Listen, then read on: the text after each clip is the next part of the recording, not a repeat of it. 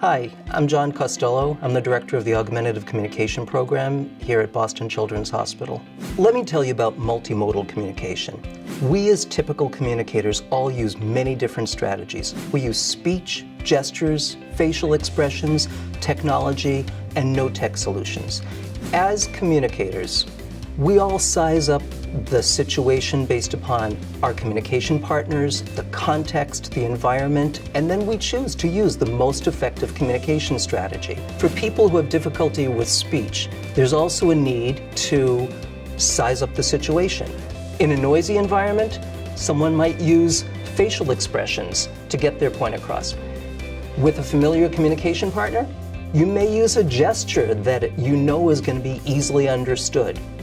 In a situation where people don't know you well, you may use technology with a pre-stored sentence or, or a phrase that's going to be spoken out.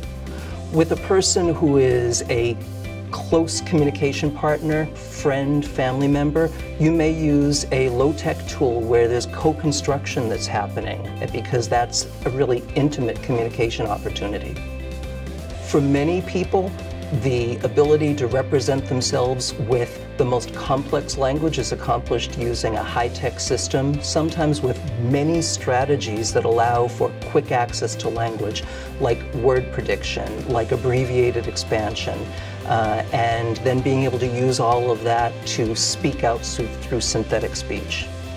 We all demand the right to be able to communicate in the most effective manner people who have difficulty with speech need exactly that same right. It is a basic human right.